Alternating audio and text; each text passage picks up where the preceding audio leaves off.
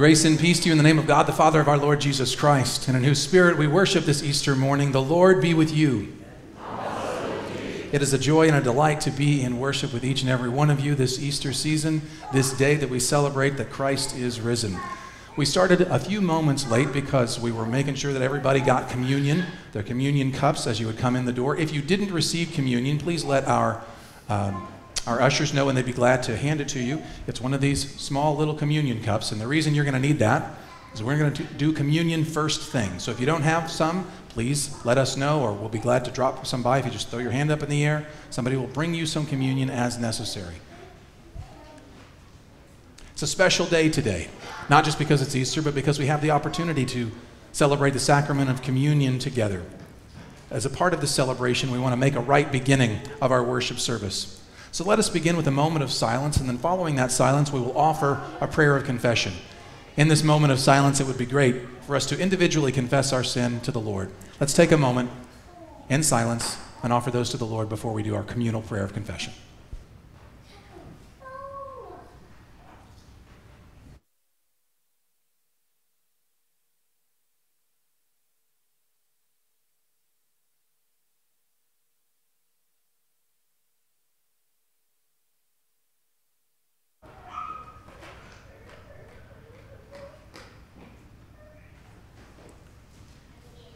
And now, would you join me in the prayer of confession as it is written on the screen?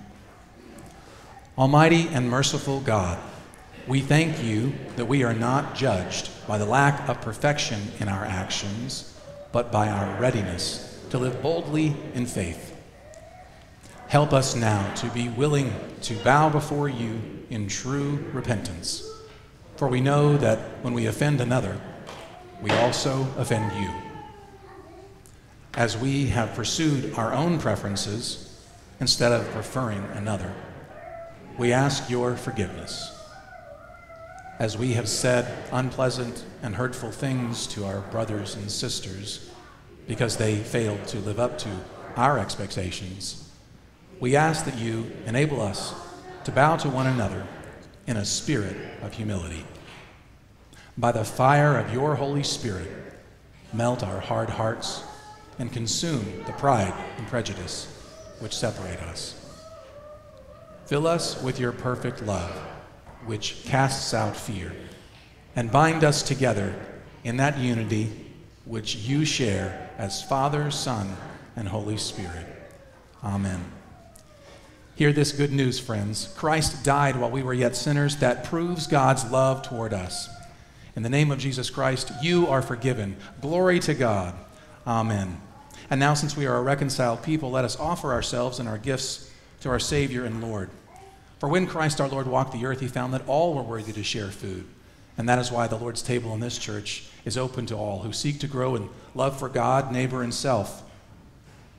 Four days before his resurrection, and on the night in which Jesus betrayed, was betrayed and gave himself up for us, he took the bread, gave thanks to God broke the bread and gave it to his disciples and said, Take, eat. This is my body, which is given for you. Do this in remembrance of me. Likewise, when the supper was over, he took the cup, gave thanks to God, offered it to his disciples, and said, Drink from this, all of you. This is my blood of the new covenant, poured out for you and for the many, for the forgiveness of sins. Do this as often as you drink it in remembrance of me. And so now we pray and ask the Holy Spirit to pour yourself out on us gathered here and on these gifts of bread and cup. Make them be for us the body and blood of Christ, that we may be the body of Christ, redeemed by his blood. But it was from this meal that Jesus went with his disciples to ultimately be betrayed. At the meal, the betrayer was in their midst, and all 12 of the followers were not yet aware of just how drastically they would fall away. They go into the night after the meal to fall asleep on Jesus at his time of need for them to intercede on his behalf in prayer. They pick a fight with those who Jesus said must arrest him and lead him to die on a cross. And they abandon him in his hour of greatest need, some of them denying that they even know him. In fulfillment of Scripture, Jesus has led to the authorities of his day, all of them caught up in their own understanding of earthly power The Jewish authorities didn't see Jesus as their Messiah, and as a result, he was a blasphemer. He saw his following as a threat to their earthly power. So they appealed to the power of the day, a power above them, the larger authority, just as Jesus predicted the powers of Rome. The highest authority that Jesus would stand before is a ruler named Pilate. Despite Pilate's wife begging him not to have Jesus killed, the power structure that he was a part of would allow for nothing less. He attempted to wash his hands of it, but he certainly did nothing to stop it. He, he couldn't. If he did, it would cause an uprising among the people, an uprising for which he most likely would be held accountable and he would lose his station in life. The earthly power structures demanded Jesus' death. But while Jesus was standing there with Pilate, while Pilate was trying to make up his mind about what to do with Jesus, Jesus confesses that he came into the world to testify to the truth. In response, we see the depth, beauty, and awesomeness of God's word. Pilate stands before the one, the one who claimed of himself in John 14, 6, that he is the way, the truth, and the life. Jesus is the truth standing there, and Pilate responds, What is truth? He's thinking about this so much more philosophically. But the irony of Pilate having no idea that the answer to this question, the actual truth, was talking with him in that moment, is too perfect not to be planned of God. But it was from that moment that Jesus was led away, carrying his own cross that he would soon be nailed to, where indeed his body would be broken and his blood spilled. And so, in remembrance of these, the mighty acts of Jesus Christ, we offer ourselves in praise and thanksgiving and in union with Christ's offering for us as we receive his broken body and shed blood. At this time, you can remove the top layer of film off of your individual communion cups. And as you take the wafer in hand, this is Christ's body which is broken for you. Amen.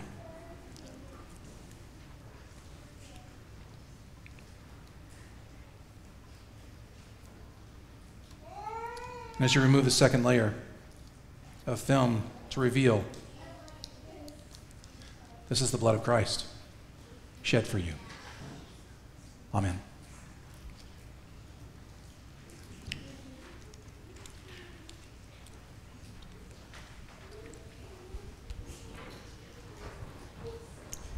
And as this, this, as this is Easter Sunday, we take an opp- opportunity to proclaim not only what is true in this moment and true of what is, of what is to come, but also proclaim something that we do each and every time we do communion together the mystery of faith. Would you say this with me? Christ has died. Christ is risen. Christ will come again. Some of you are still working your way through communion. I didn't have a mask to shuffle with, so sorry I didn't give you as much time. But let us take a moment to stand and proclaim what we just said. We said, Christ has died, Christ is risen, Christ will come again. That means so much for us. And we're going to sing that together as the band leads us in the song, Scars.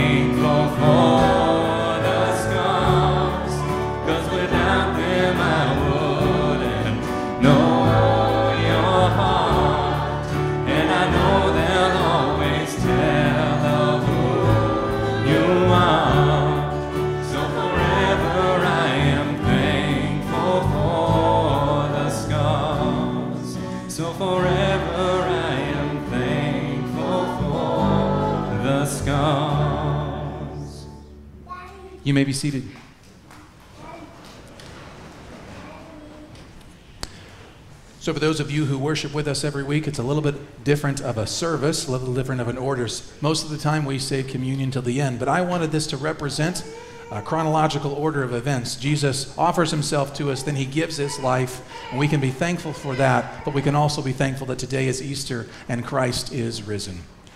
Good morning. Again, my name is Scott Griffin. I'm the pastor here at Zion United Methodist Church, and I welcome you to worship. Whether you're worshiping with us online or in house, we have an opportunity to check into Zion, and that is online through your, through your phone if you'd like to do that, or with the gift of presence card if you're here with us. If you wouldn't mind filling that out and placing that in the offering. When the sermon is com- concluded and we have an opportunity to respond in song, we'll stand and, and process forward and drop off these gift of presence cards in the offering plate to my left and to your right as well as with your tithes and offerings. And this Sunday, since we've taken communion, we also receive an altar rail offering. The altar rail offering for the month of April goes to the discre- pastoral discretionary fund, and that is a place where when folks call in and they have a need, I have the opportunity through your gracious and kind gifts to give to them in their spot of need. And uh, it's been a joy to be able to do that. Thank you for your kind giving. There's also another announcement about wedding pictures. We want to say, send us your wedding pictures. We have a, a little display down the hallway where we represent weddings of the month. And my guess is that we're, we're reflecting the same weddings all too often. So we're looking for more wedding pictures. We need to know, especially those of you who are married here, we can see how things have changed over time. But we receive your wedding pictures and, and have a, a wedding of the month. And if you haven't been featured there in our, our hallway, we'd love to do that. So please send us your wedding pictures. In just a moment, the Sepulvedos are going to offer us a special. But uh, before they do, I want to let you know that many of the Sepulvedos who aren't featured in this special are featured at Dexter's choir department of Frozen. Grace uh, is uh, going to be, uh, and, and Selah as well, are going to be in these uh, performances. There's four of them, but they'll be in the Wednesday night and Friday night performances. And Dexter of Frozen, of course, Jamie is our uh, music leader here, and she leads the choir uh, there in Dexter. And uh, we're so delighted to have them do that. And for us to get a chance to see them, uh, like we do many of the, the people that we celebrate in our midst as we worship together. This time they're going to come and offer us a special. Uh, they offered this in the, in the first service. It's a beautiful song. I'm sure it'll touch your heart.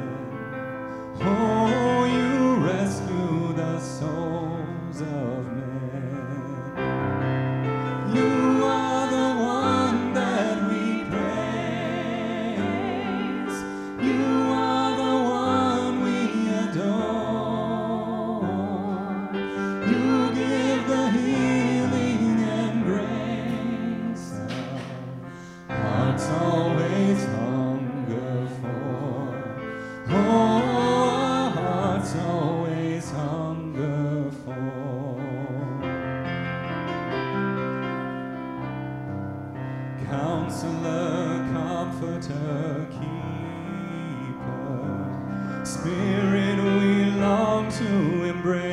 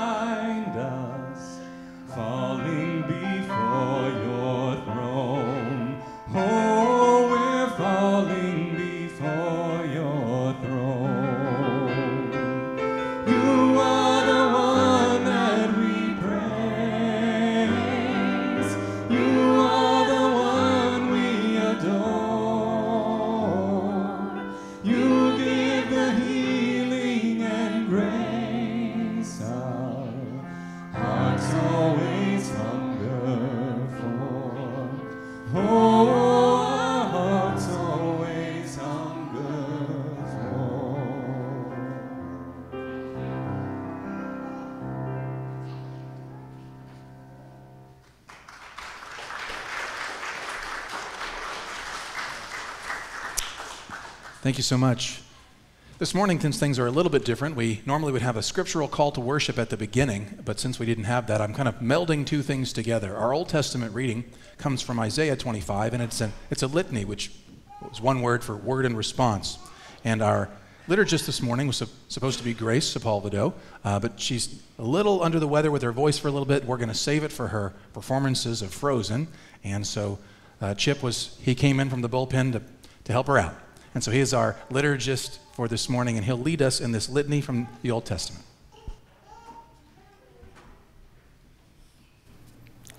In Jerusalem, the Lord of heaven's armies will spread a wonderful feast for all the people of the world. It will be a delicious banquet with clear, well aged wine and choice meat.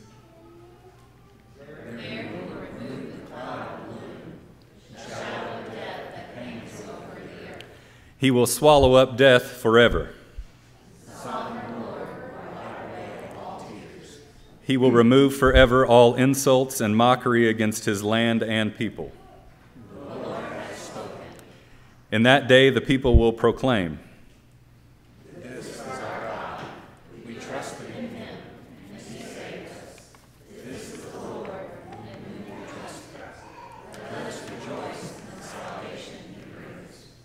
Indeed, we'll rejoice this morning as we sing together the hymn, He Lives.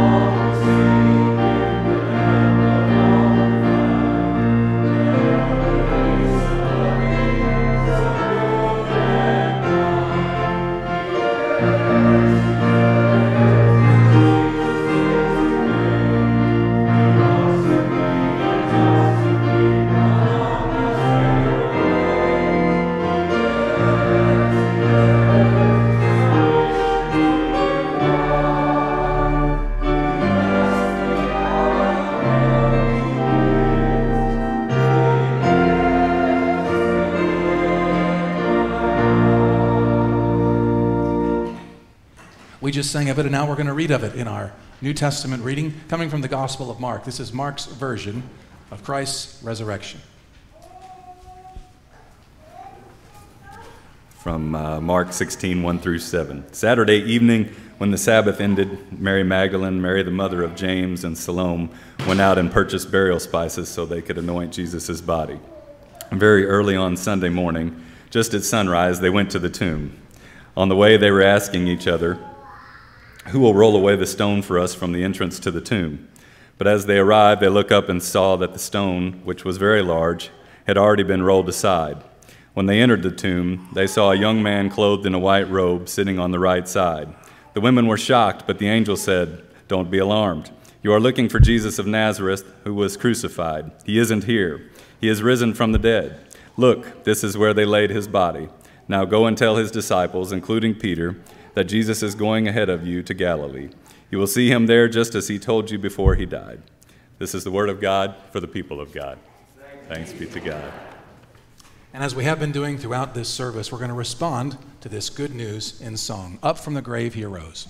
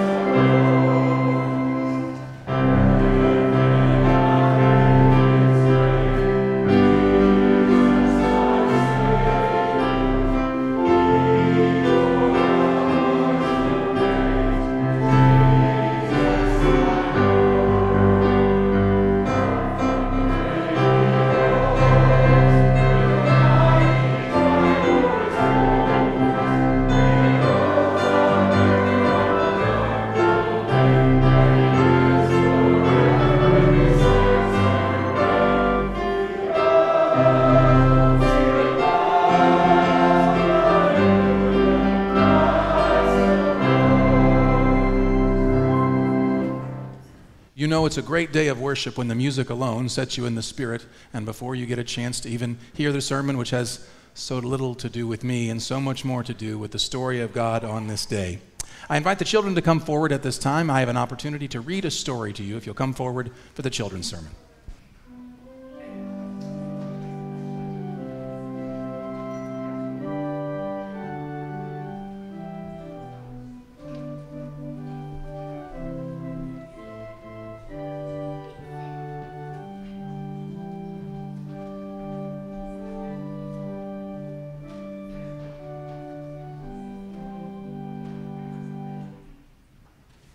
Wow, this is exciting. Now, I have been here before, and I've seen a thing or two when Reverend Tom Gross has read to you a story. He was doing this before the service started, so he's just doing what he always does. He's having a good time. He's trying to help me. So, Tom Gross has read to you stories before, and he usually has a picture book. And I found the stories on the internet, didn't have any pictures, so I apologize about that. But when I read this story, I had pictures in my mind. So I want you to have pictures in your mind. See if you can picture what I'm reading about. Once upon a time, there was a providential meeting between a wise old man and a strong willed young lady. The man had chosen a simple task in life, merely to sit beside a wide river at the end of a footpath and help passersby across. One day, this spriteful young girl came hiking along the path through the forest, farther than she'd ever gone before. This time, she was led to the river and found the old man. But she wasn't interested in troubling the man.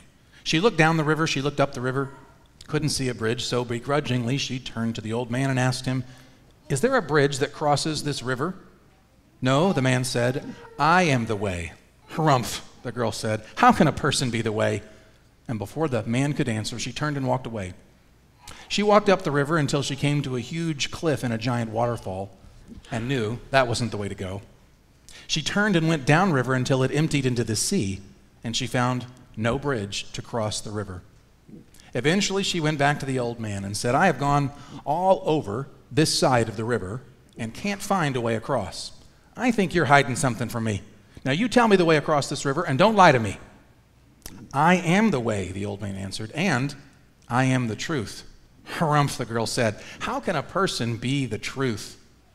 And before the old man could answer, she turned and started across the river right there at the end of the footpath, wading her way through the water. Things started rather well. This must be the way she thought. Since the forest path led me here, can't believe I didn't think of this sooner. But it was almost at that moment that she was noticing the water come higher and higher, and it was up to her neck, and the current growing stronger. Suddenly, she lost her footing and went under. She struggled to reach the surface, but she didn't know how to swim. Now, how silly is that? She's out in this water and doesn't know how to swim, just as she thought. She could hold her breath no longer. She felt a hand grabbing hers and pulling her to the surface. The old man flipped her on her back, pulled her to the shore, and she said, You saved my life. Between breaths to the old man. Yes, he replied, I am the life. Well, said the girl after regaining some stamina, will you show me the way across the river? Yes, said the old man, because I am the way, the truth, and the life. And so, over the next couple of days, the old man taught the girl how to swim until she could make it on her own. However, the old man never left her in the river alone. He swam right alongside her every time in case she needed him. And of course, the first person that ever said the words, I am the way, truth, and life, is Jesus Christ. He is the way, the truth, and the life. And not only does he say that, but then what we celebrate this day on Easter is that he can overcome all things that would be rivers along our path. Anything that would get in our way, including what we celebrate today, that he overcame death. There is nothing that Jesus can't help us overcome. He is the way, the truth, and the life. And there is nothing more important to all of us adults in this church than for you guys to walk as this girl did at the end of the story, hand in hand with Jesus. And just like the old man in this story, Jesus doesn't just teach you what to do and walk away, He's there to guide you every step of the way. No matter what you'll come across, no matter how difficult it is, Jesus will walk with you just as He walks with all of us. And that is our greatest desire for each one of you. That's the good news for this day. Would you pray with me? Lord Jesus, we thank you for coming to earth and showing us the way. We thank you for being the truth. And we thank you for your life, which conquers even death. Help us to hold your hand throughout all our days. In Jesus' name, amen. Thank you all very much. You did a wonderful job.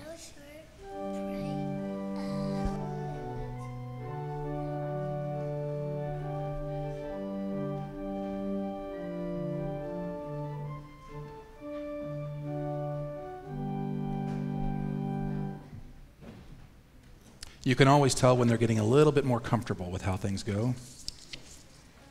Start talking to you, telling you things. I had one of the children give me uh, this little cartoon of the Last Supper, the Garden of Gethsemane, the crucifixion,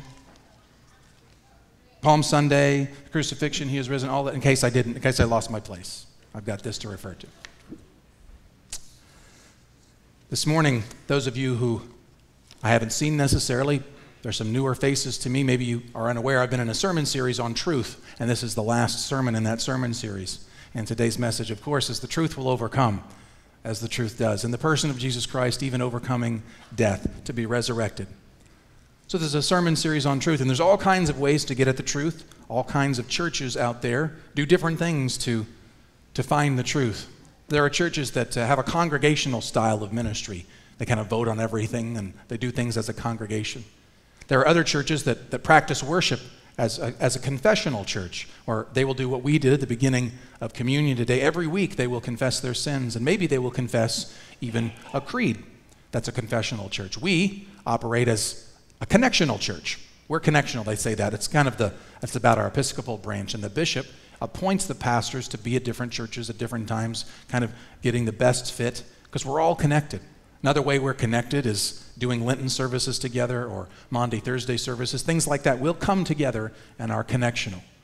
Those are all just C words of different ways to do church. And all of it is about getting to the truth. How can we get to the truth of who Jesus is? Another way is truth statements of faith. Truth statements of faith, we know them as the creeds. The Apostles' Creed was developed as one of the first ones of these statements of faith in 70 AD. And the purpose of these creeds was to determine what it is as Christians we believe. Because there's all kinds of things people were saying out there that could be true or might be true. And the apostles came together and said, no, no, despite all of this and despite all of that, this is what we believe. Anything that we don't believe, especially in that time, was considered a heresy. And there were heresies about Jesus not being fully divine or, or not being fully human. And that kind of plagued the church for a few hundred years. And there were other creeds that were developed. Talk about those in just a second. But first, we do this from time to time. I'd like for us to recite together the Apostles' Creed. It'll be up on your screen. This is what we believe true statements of faith. I believe in God, the Father Almighty, creator of heaven and earth. I believe in Jesus Christ, his only Son, our Lord. He was conceived by the Holy Spirit and born of the Virgin Mary. He suffered under Pontius Pilate, was crucified, died, and was buried. On the third day, he rose again. He ascended into heaven and is seated at the right hand of the Father. He will come again to judge the living and the dead. I believe in the Holy Spirit the Holy Catholic Church, the communion of saints, the forgiveness of sins, the resurrection of the body, and the life everlasting. Amen. That is a truth statement of faith. All kinds of churches have said this, regardless of whether they're connectional, congregational, confessional. All kinds of churches have said this throughout the ages, beginning with the Apostles' Creed in 70 AD. It developed into other creeds because more people kept thinking things that weren't so true. So in the year 325 AD, at the Council of Nicaea, they gathered together again, the church fathers, and decided, all right, what is it now that we believe? And rather than listing all the things that we don't believe, all the things that aren't true, they focused in on what we believe. After that, there was another council in Chalcedon, and there's a creed that was developed out of that. Most of the time, they were still pushing back on things that were untrue about Jesus, continuing to form and reform the Nicene Creed is a little longer. The Chalcedonian Creed kind of takes what the other two creeds have said and says, we're going to be sure and add this part to it. It's actually my favorite of the creeds as far as theology goes. That's me being a theology nerd, Chalcedonian Creed. It's not as easy to say. But my favorite of all the creeds is something that I know that you can say, and uh, it's actually before, before the Apostles' Creed existed. It's a three word creed Jesus is Lord. The early church would say this well before the Apostles' Creed was known. Jesus is Lord. Can you say that with me? Jesus is Lord. I think that you even have it memorized at this point. You know one of the creeds. Congratulations. Such an easy creed, and I think all of the others fall right into this. Or maybe better said, the others unpack this phrase more and more. I want to, want to suggest, though, you may have seen this, I've seen it more on the internet on, on Facebook and things like that. Some preachers have said it, and I don't want to completely disagree with it, but I want to talk about the phrase for just a moment. Either Jesus is Lord of all or not Lord at all. I think that may be true from our perspective, but I don't think that's the way God looks at it. I don't think God looks at that and says, Well, if I'm not Lord over everything, and he turns his back on us and walks away. I think sometimes for us, we've got to admit If Jesus isn't Lord over our life in a specific area, is he really my Lord? But I want to talk to you about how, how God works with me and stories of how I believe he works with most people. I have no reason to believe he doesn't treat you with the same grace and kindness that he offers me. When I'm walking with the Lord and, and the Lord reveals to me finally that maybe there's an area of my life that he's not quite Lord over, I'm not so happy about that. I don't look forward to it. But I don't turn my back on God. I think, God, I don't want to hear that. I'm not interested in you being Lord at this time. But He's still working on me, still talking to me. And really, He's still my Lord because I keep talking to Him. I just don't want to do what He says yet. He's still my Lord. And maybe you're the same way. And so I don't want you to use this phrase, Jesus is either Lord of all or not at, or not at all, to walk away because God's not walking away from you. And the truth is, if He's not Lord over, over all, then there's some place in your life where He's not Lord, and that could creep in and become a bigger problem for you. But allow God's grace to lead you into His Lordship. And we find time and time again, regardless of where He leads us, it is into His best for us and that area of our life. We just haven't learned to trust Him there. He desires to be your Lord. But that's not the only simple creedal faith statement I want to talk about today. We said it earlier, right at the end of our communion. We said the mystery of faith. This is a creedal statement as well that Christ has died, Christ is risen, and Christ will come again. And what we find in each one of these phrases individually is that the truth will overcome. When you say the phrase Christ has died, that's already proof the truth will overcome. Really? It's just about Christ dying. Why would that mean the truth has overcome? Well, because he predicted that he would die. Three separate times, Jesus predicted that he would die. In each gospel, the first three gospels, we see this prediction three times. And in John's gospel, he, he writes a long soliloquy. His, his gospel is written a little differently, and so he kind of only does one major prediction, but it's a lot longer. Kind of packs them all into one. And if you were to read the gospels, all four of them, you find 10 times the words of Jesus, only three actual ones, but 10 times we read that Jesus predicts his death. Now, if I was to stand before you and predict my own death, it wouldn't be all that surprising. Should Christ not come, I expect to die someday. Big deal. Maybe you would think it's not that big of a deal that Jesus would predict his death. Well, here's what he said about it Mark chapter 10, verse 33. Listen, he said, when we're going up to Jerusalem, where the Son of Man will be betrayed into the hands of the leading priests and the teachers of religious law, they will sentence him to die and hand him over to the Romans. That's kind of specific. Maybe you're thinking, but back in that day, if you blasphemed bad enough, that's sort of the natural consequence of things. If you frustrate the temple guards and the Pharisees, they will say that you're a blasphemer, and someone who blasphemes in the Jewish tradition is uh, guilty and, and will suffer death. And the way that they would make that happen is by causing such an uprising that the Romans would be like, all right, what do we got to do? Well, if you'll kill the blasphemer, we'll be good. So they would, and that would squash the uprising. And that's what the most of the Roman authorities were set out to do. Just don't let the people get excited about nothing. Just leave them calm. So that you could have guessed that, you know, this Jesus character keeps things up, he'll probably die at the hands of the Romans. So is that that big of a deal of that kind of a prediction? I mean, is that that hard? Maybe not. But he predicts more than that.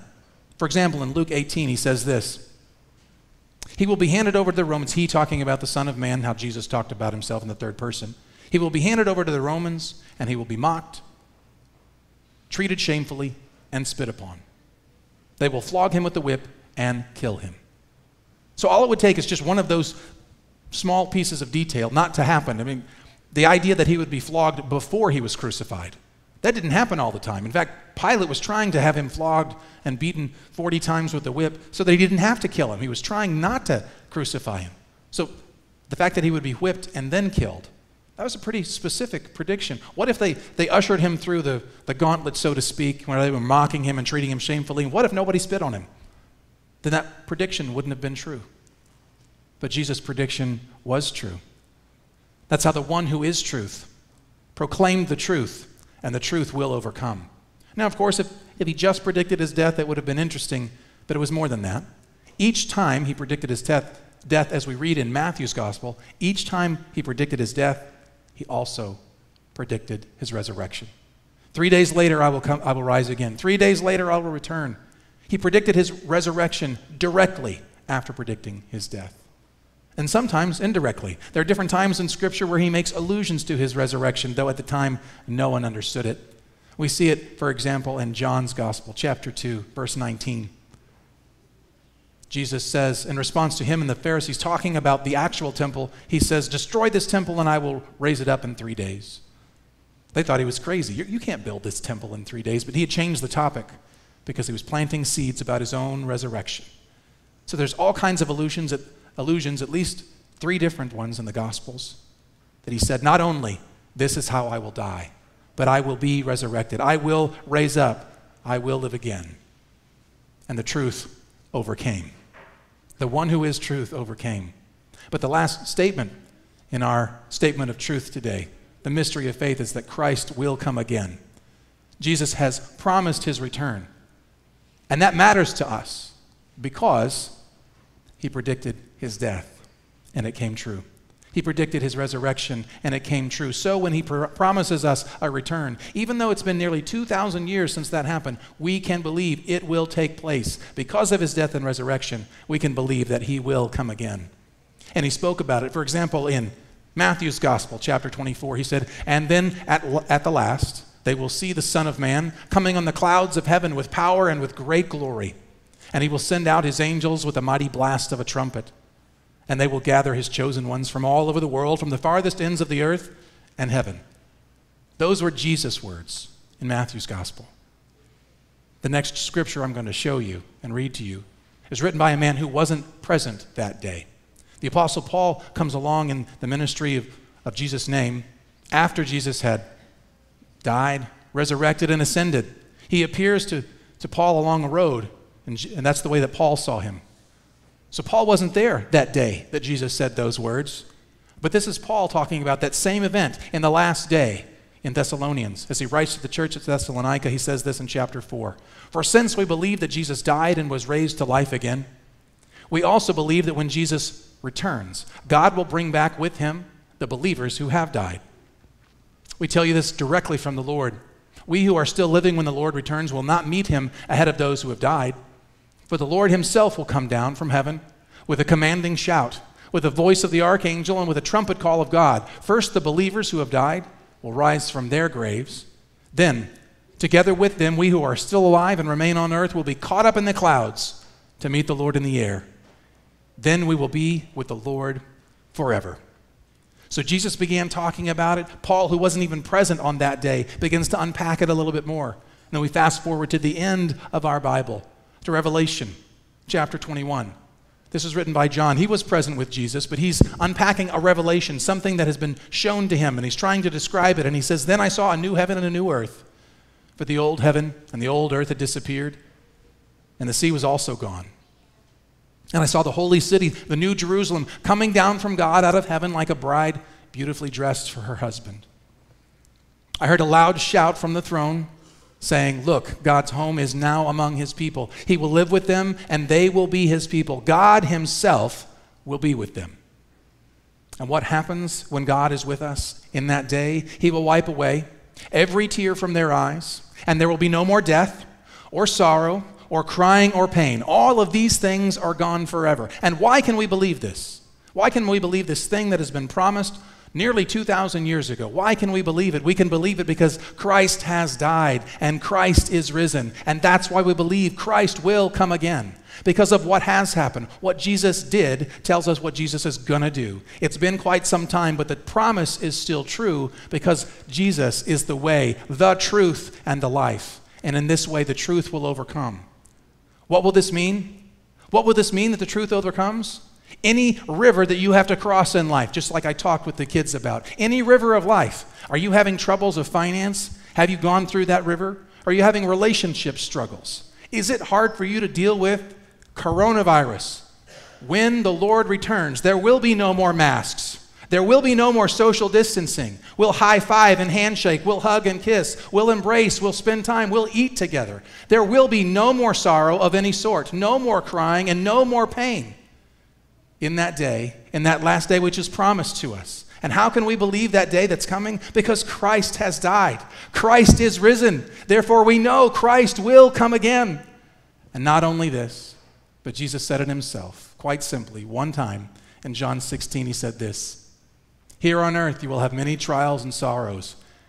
And boy, doesn't that cover a lot. Trials and sorrows. You will have many trials and sorrows, but take heart because I have overcome the world.